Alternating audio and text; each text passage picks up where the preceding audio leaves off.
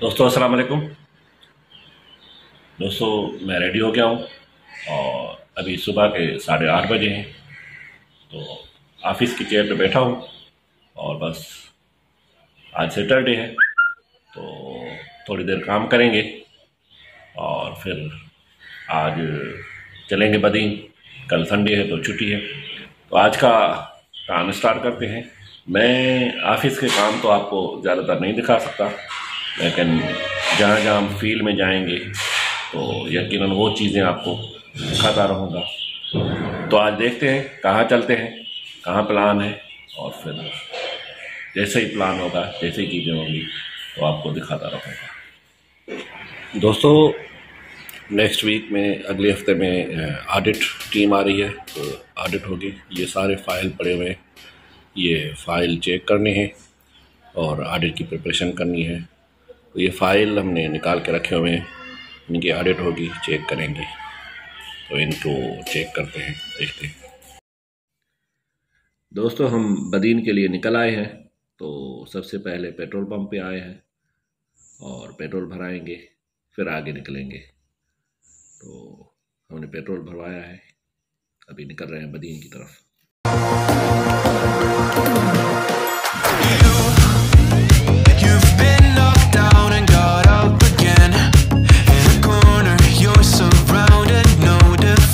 दोस्तों, ये चूअर जमाली से सुजावल की तरफ़ का रोड है और फिर सुजावल से हम निकलेंगे बदीन की तरफ़। तो हम निकले हैं चूअर से और ये तो लिंक रोड ही है, इसी के ऊपर चलेंगे, फिर चलेंगे सुजावल और सुजावल से हम निकलेंगे बदीन की तरफ़।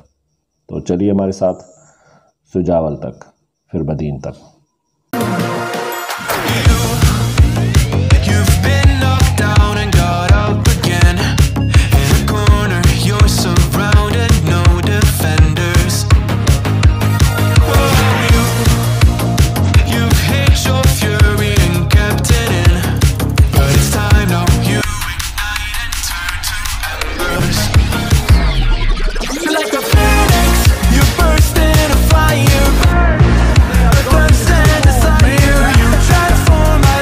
दोस्तों, ये देखें।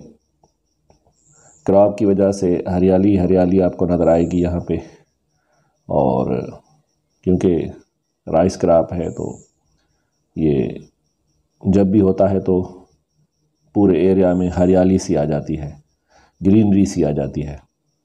और फिर पूरी जो ज़मीन है, वो इतना मज़ा देती है, क्योंकि एक तो ग्रीन ग्रीन ही ग्रीन होती है और ऊपर से इसकी जो खुशबू आती रहती है हवाओं में, उसमें बहुत मज़ा होता है और बहुत इन्जॉय करते हैं हम।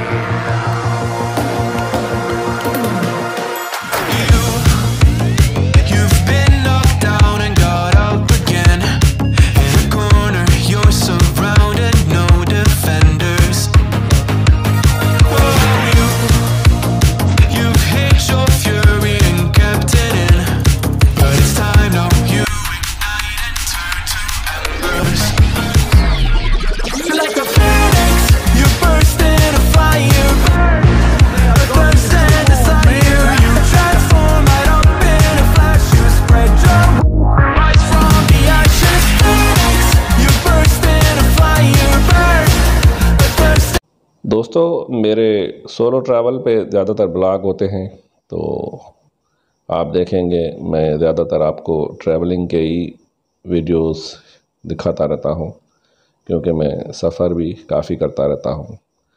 कभी यहीं फ़ील्ड एरिया में भी करता रहता हूँ।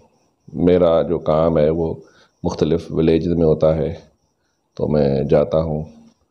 तो मैं कोशिश कर रहा हूँ कि पाकिस्तान के अंदर, सिंध के अंदर जो रूरल एरियाज़ में विलेज हैं, उनकी विलेज की लाइफ है, जो उन लोगों की लाइफ है, वो मैं आपके साथ शेयर करता रहूँ। तो यहाँ पे मुख्तलिफ़ क्राफ्ट भी होते रहते हैं और जुलाई, अगस्त, सितंबर के दौरान यहाँ पे ज़्यादातर जो है राइस क्राप होती है और ये मेजर क्राप ही है यहाँ की तो उस वजह से आपको हर जगह पे यही नज़र आएगी। उसके अलावा मुख्तलफ़ जो विलेज हैं, गाँव हैं, घराने हैं, या लोगों की जो लाइफ है, वो ही आपको नज़र आती रहेगी। तो मैं इन वीडियोस में आपको ट्रैवलिंग तो दिखाता ही रहूँगा, उसके साथ साथ विलेज लाइफ भी दिखाता रहूँगा।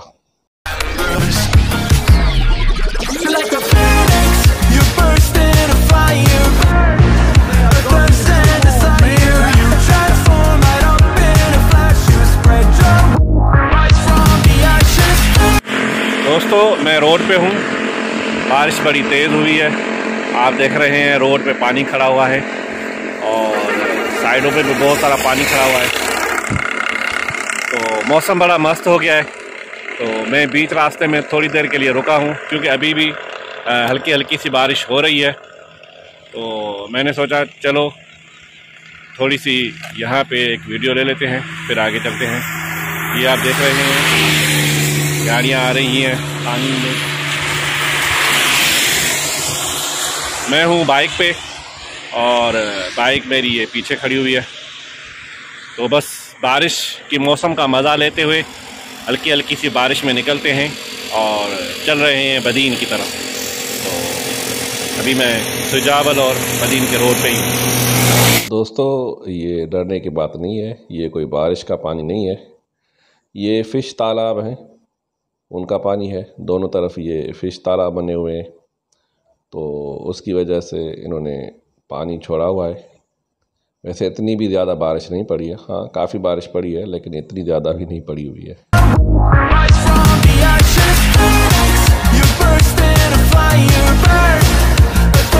दोस्तों, सच पूछे तो बारिश में बाइक ड्राइविंग करते हुए बड़ा इन्जॉय कर रहा था।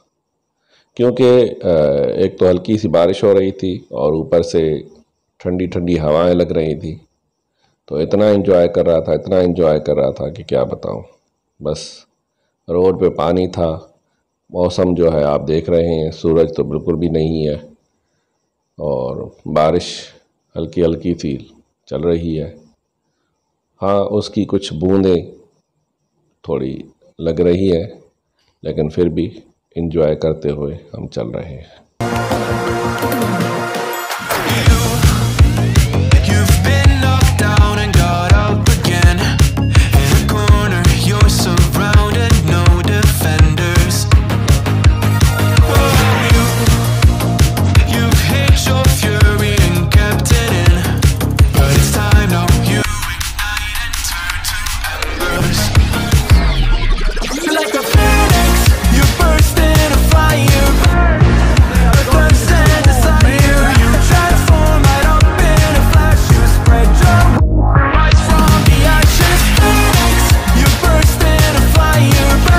दोस्तों, ये सामने आपको जो बिल्डिंग नज़र आ रही है, ये दीवान शुगर मिल के साथ है और ये हॉस्पिटल है दीवान शुगर मिल वालों की।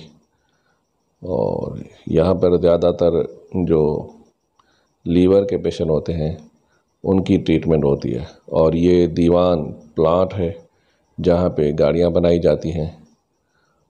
और इस तरफ़ जो है, ये दीवान शुगर मिल का मेन गेट है।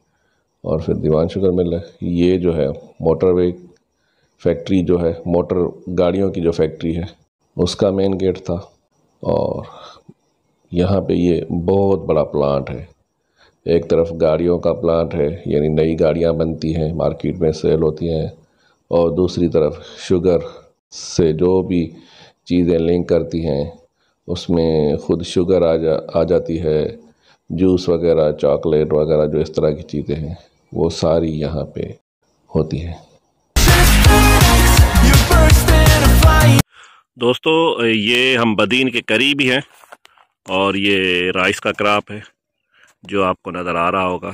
आप देख सकते हैं, बड़ा ही मेजर क्राप है यहाँ का। तो उस वजह से ये बहुत ही ज़बरदस्त किस्म का क्राप आपको नज़र आ रहा होगा।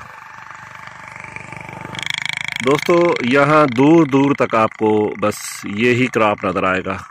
आप देखेंगे बस यही है। यहाँ क्योंकि ये बदीन आ, का कहें बदीन ठट्टा मतलब ये कि सिंध का जो निचला हिस्सा है बल्कि सिंध का जो सारा हिस्सा है इस सीज़न में ये राइस क्रॉप ही होता है यहाँ पे।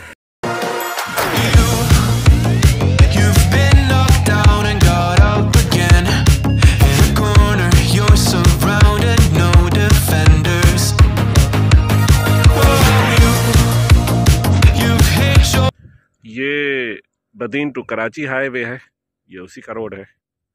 मैंने पिछले भी काफ़ी सारे ब्लॉग्स में ये रोड शेयर किया है। तो हमारा रूट यही है तो मैंने सोचा चलें, यही आपको दिखाता चलूँ। और ये देखें, रोड के दोनों साइड पे ये भी राइस का क्रॉप है दूर दूर तक।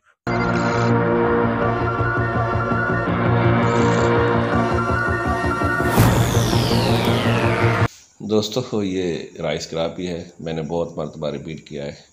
लेकिन यहाँ पे मैं दिखाना चाहता हूँ कि यहाँ पे रूरल एरियाज़ में ऐसे बीच से रास्ते बनाए जाते हैं, जहाँ से कोई गाड़ी गुजारी जाती है या लोग अपने क्राप को मार्केट वगैरह ले जाते हैं। तो इस तरह से कई सारे कच्चे रास्ते बने होते हैं। और कई सारे ऐसे रास्ते भी हैं जो ये विलेज में भी जाते हैं, यानी जो गाँव होते हैं रूरल एरिया में, उनके लिए भी ऐसे ही रास्ते होते हैं.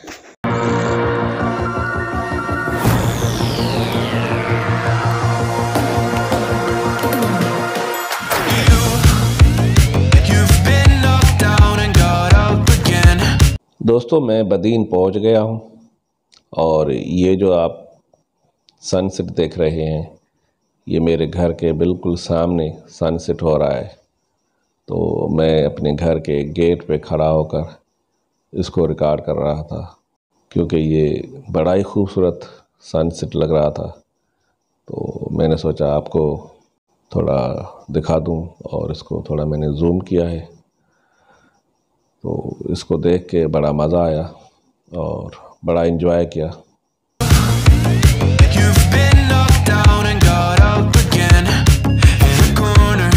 तो दोस्तों, आज का ब्लाग यहीं पे ख़त्म करते हैं।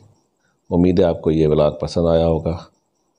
तो जल्द मिलेंगे एक और नए ब्लाग में। तब तक के लिए अल्लाह defenders.